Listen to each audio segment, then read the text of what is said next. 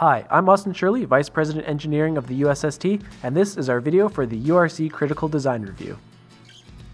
Last year was the first time we entered a rover into the competition, and it was definitely a great experience to see exactly how our design performed all the competition tasks.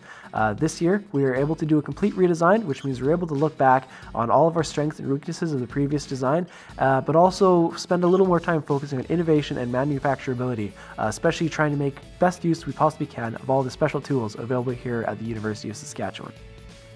Uh, one of the things we're really excited about our design this year is the use of carbon fiber in the chassis. Uh, we are able to do a lot of destructive testing and comparative testing to aluminum, and we're very pleased with the results. Uh, we've been able to reduce the weight of the rover by 50%, and at the same time make a lot better use of the tools we have here at the USST. For example, our 3D printer, which we're able to make very strong joints uh, very quickly and quite cheaply. Uh, it also leaves a lot of room for improvement next year. Uh, we're hoping to be able to expand this into a unibody design process and uh, reduce weight even further. We were quite happy last year with the way the rocker bogie suspension performed, so we've definitely taken a really iterative approach to this part of the design. There are three main areas of improvement. The differential is now using helical gears, allowing for much tighter tolerances in the whole system. With the help of simulations, we developed an aluminum plate suspension arm instead of using aluminum tubing, and this gets rid of a lot of the unwanted forces in our suspension and uh, really makes the rover a much more stable platform. And finally, the in-wheel motors we're really excited about. Last year we had some issues uh, navigating rock fields. Uh, this year we should have no problem with that. The motors are completely protected inside of the hub of the wheel. This should allow us to drive pretty much wherever we want as long as our rover can fit over the rocks. The robotic arm is a really important part of a lot of the challenges, so we're really lucky to have a group of our members able to do a full detailed design as part of a final project. They were able to solve a lot of the problems we had last year and also do a full kinematic analysis, allowing us to provide a really familiar video game-like interface for controlling the arm, uh, which is going to be really important for saving precious seconds during those challenges.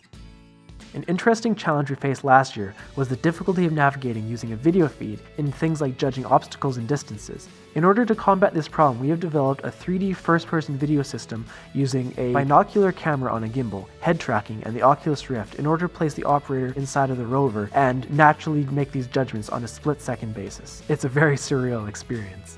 For the science task this year, we will be taking a very hands-off approach to analysis. Collection will be done with a special drill in order to make sure the layers of soil are maintained. Then we will analyze the absorption of specific wavelengths of laser light in order to determine the presence of NH bonds as well as bound water in organic molecules. Probes will also be present on our sampling tool, allowing us to determine pH and soil humidity quickly and easily on multiple sites. Finally, because our sample has not been disturbed, we will be able to use classical chemical techniques in order to verify the results obtained in the field. There will also be many Raspberry Pi cameras all over the rover with different types of lenses, taking pictures continuously as we search for and select a sample. With the data we've collected last year, we've been able to do a complete redesign of the electrical and software systems. On the electrical side, we've had a lot of fun with the laser cutter developing a photolithography type approach to developing custom PCBs and making a more compact and reliable design.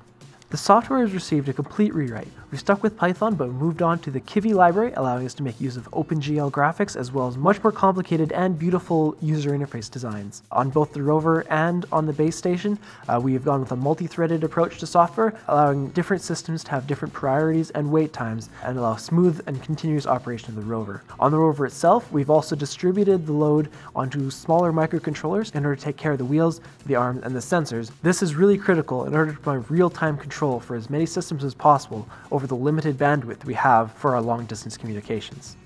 Overall, our rover this year is smaller, significantly lighter with a lower center of gravity, more integrated electronic systems, more reliable computer systems and software, refined control systems for the arm using kinematic analysis and traction control on the wheels, 3D first-person video, improved communications, and a whole bunch more experience. We've also developed a lot of new relationships with sponsors, are in the middle of a big fundraising campaign, have brought some new members onto the team, the 2015 design is looking really cool. We think it's very competitive and are looking forward to being part of the 2015 University Rover Challenge. Thank you.